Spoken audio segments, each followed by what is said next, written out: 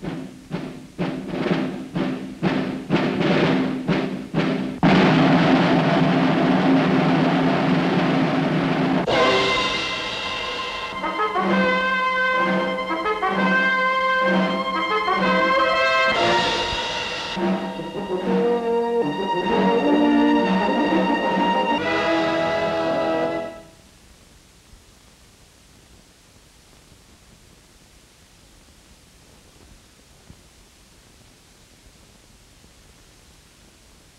are the helipads at An Khe. Here at the Camp Radcliff headquarters of the 1st Cavalry Division Air Mobile, the problem of excessive weight in airborne command communications equipment is being solved. These technicians are preparing to check out a recently developed lightweight system installed in this helicopter. The newly designed communications system weighs only 150 pounds, as opposed to the previously used 600 pounds of equipment. In addition, this lightweight unit provides the airborne CP with two different radio frequencies and a multiple outlet intercom. Known as the ANARC-122, the system is composed of two ANVRC-46 radio receiver transmitters and the intercom channels. Three whip antennas mounted beneath the helicopter fuselage give the command radio system a range of 24 to 32 kilometers. In actual use on a combat mission, the compact communications unit is operated by the commander's S3 officer and by an artillery fire support officer. The commander gives his orders to the other officers and the helicopter pilot via the intercom. Upon receiving the orders of the commander, the S-3 relays the message to ground commanders using one of the two available channels. Simultaneously, the artillery officer can be in contact with the FDC on the other channel if desired. An extremely flexible command post in the sky.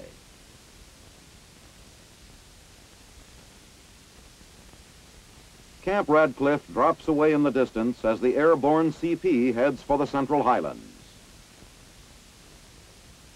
Another search and destroy mission is about to begin. High above the area where the assault troops will establish a landing zone, the commander and his S-3 evaluate the terrain features below. Map coordinates are studied. In a low-level examination of the surrounding countryside, a suspected Viet Cong village is located it is decided to call up an artillery fire support mission in the immediate vicinity of the landing zone. On the ground at the FDC, the information is received through a PRC-25 radio telephone. The mission is plotted using the data received from the airborne CP. A phone call is then made to the battery commander, and he is given complete firing data the M102 howitzers are made ready for the mission. Then, the lightweight air transportable tube artillery goes into action.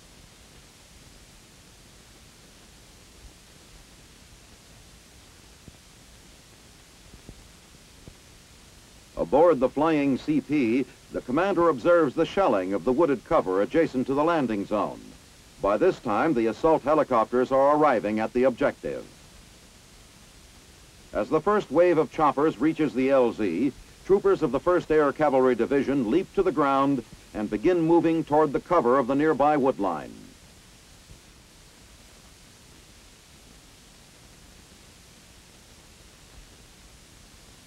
The unit commander receives intelligence from the airborne CP regarding the unmapped village ahead and possible location of the enemy. A mortar crew sets up its weapon and prepares to shell the thick cover on the perimeter of their position. The information they have received from the commander, flying overhead, is checked against their map. Then, firing commences.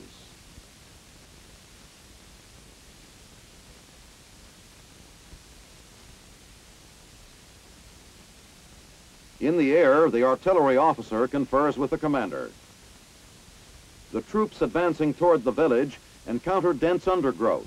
and progress is slowed as they push through clinging weeds and brush. All sense of direction can be lost in the heavy vegetation.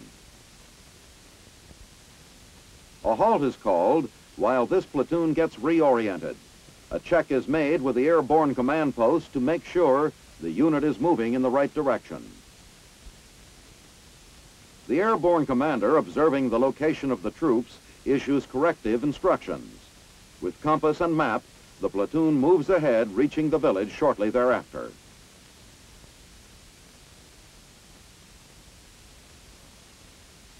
Tunnels ever present in the villages of Vietnam are located and searched for hidden enemy personnel. While the tunnel runner is below ground, security is provided by posted guards. This complex of underground passages proves to be empty. With a deserted village behind them, the flying cavalrymen move to the LZ and signal for pickup. The search and destroy mission is completed, and soon the choppers arrive to take the men out.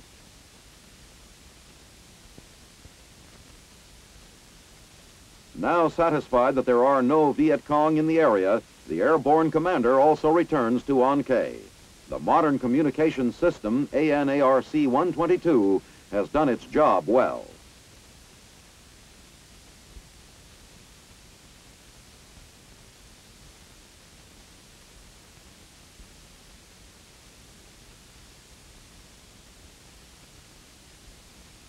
At Tan Air Base, Saigon, is a heliport handling a high volume of rotary wing aircraft traffic, ranging from the Sioux to the Chinook helicopters. These aircraft are largely from Army units based outside of Saigon.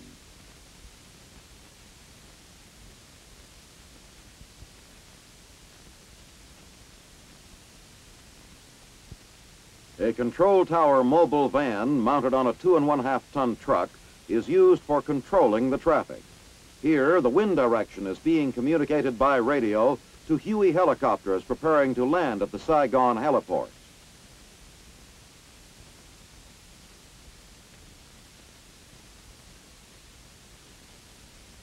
Also situated at Nhut is an Army facility for the maintenance of electric generators in use by air traffic control personnel throughout Vietnam. Here, maintenance is performed on generators of all sizes, from 1.5 to 15 kilowatt, 60 cycle generators, and the 400 cycle generators used to supply radar systems. Incoming generators are checked deficiencies noted, and the equipment again put into good operating condition.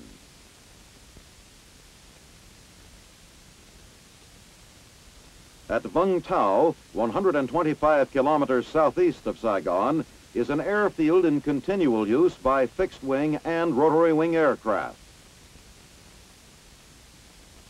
Traffic handling facilities include a control tower and a ground control approach radar system for use in inclement weather.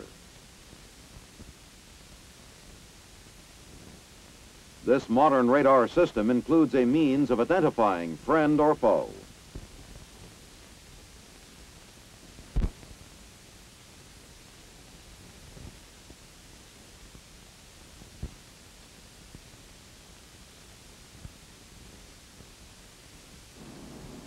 I'm Colonel Aronson, CO 4th Transportation Command, a part of the U.S. Army's 1st Log Command in Vietnam. Our mission is to run Saigon Port Complex. This includes the ports of Saigon and subport activities at Nha Be and Vung Tau. Ships transit the river system from Vung Tau area on up the river to the Nha Be River and up here into the Saigon River to reach Saigon Port. Here in Saigon Port, we handle general cargo destined for all the depots in the Saigon area. General cargo includes all cargo other than bulk am ammunition and bulk gasoline products. Here in Saigon, we bring ships up the river and berth them at our berth facilities, of which there are six, for the discharge of the vessels onto the quayside, or we tie ships on anchorage on the buoys for discharge onto barge and by barge distribution through the inland waterway system to the depot sites. We use a wide range of equipment here in Saigon Port, ranging all the way from small forklifts to 60-ton floating cranes. This equipment includes landing craft, patrol boats such as the one we're on, landing craft utilities, barges, lighterage, tugs, and other floating craft. Additionally, on the shore, we use light trucks, heavy trucks, cranes, forklifts, and a wide variety of materials handling equipment.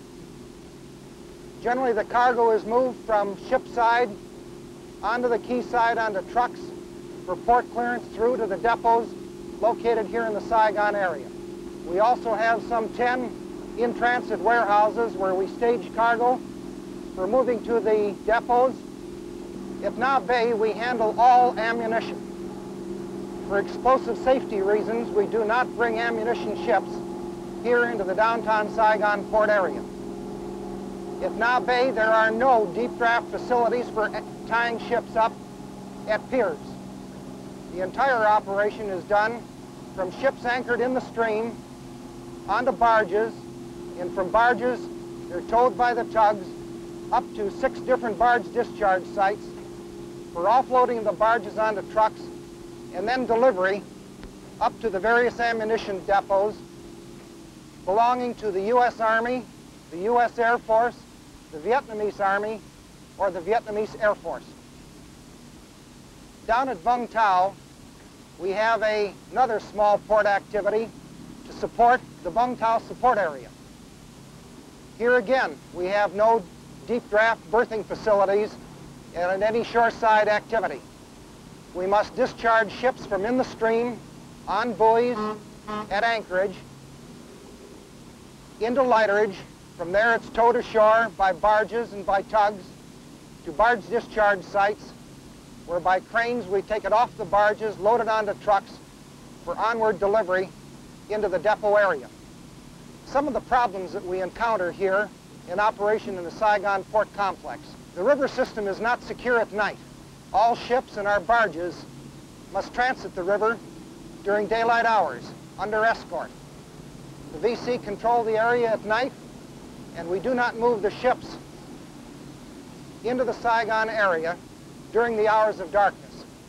Last September, when we came in and started operating in Saigon Port, we were confronted with a backlog of cargo and a backlog of shipping awaiting discharge. During last fall and winter, the backlog was absorbed. Today we are discharging almost 100% more cargo than what we were last fall. No military cargo is delayed. No ships are backlogged. Cargo comes into the Saigon port complex and moves through to depots without delay. Last month here in Saigon, we handled almost a quarter of a million tons of cargo.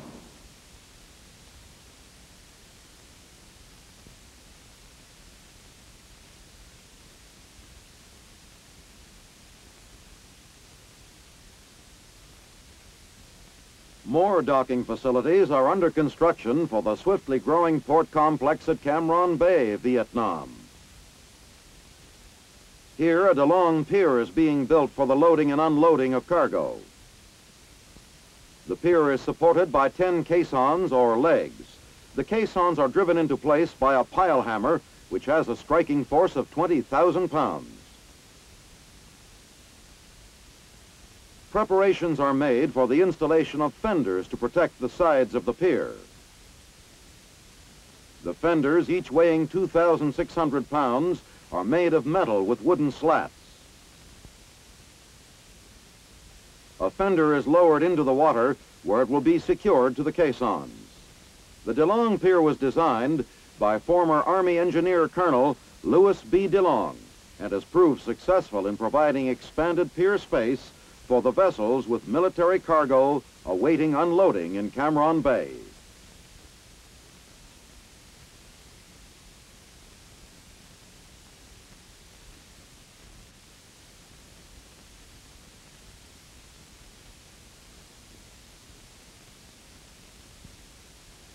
Eleven July on the parade field at the Pentagon. ceremonies are held for the newly created post of Sergeant Major of the Army. To Sergeant Major William O. Wooldridge, seen here with Army Chief of Staff General Harold K. Johnson, goes the honor of becoming the Army's highest ranking enlistee. Selected from among more than 4,700 sergeants major now on active duty, Wooldridge will represent the enlisted man on the Army staff, serving as consultant on enlisted matters to the Chief of Staff. A salute to the colors. And a 19-gun salvo gets the ceremonies underway. The new Army Sergeant Major, accompanied by his chief, troops the line. The crack 3rd Infantry Old Guard from Fort Myer participates in the occasion. The colorful ceremonies symbolize the dedication of the Army enlisted man since the founding of our nation.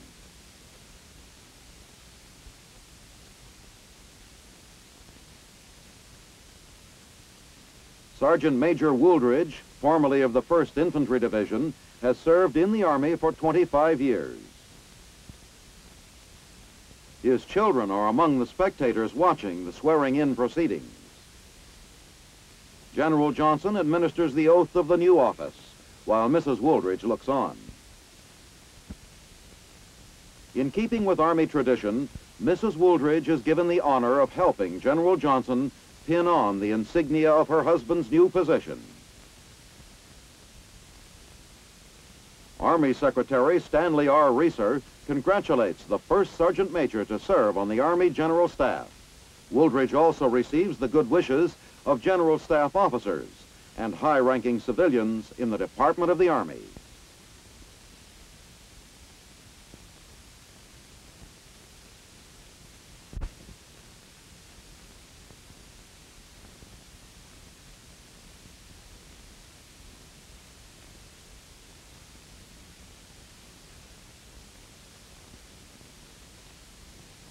Sharpshooters from 52 countries have come on July 14th to Wiesbaden-Freudenberg, Germany for the 39th contest for the World Shooting Championships. High-ranking United States military officers attend the events. The German Shooting Club is host for this year's matches in association with the International Shooting Union. Matches are held for pistol, rifle, and trap shooting. The contest this year is the largest of its kind ever held. The United States and the Soviet Union have entered full 40-member teams. At the other end of the scale are nations with only one representative.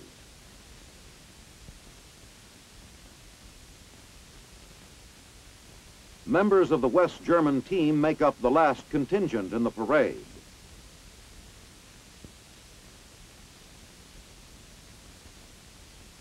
Minister Dr. Zinn, representing the West German government, delivers the welcoming address. 37 titles are to be awarded with individual medals for winners.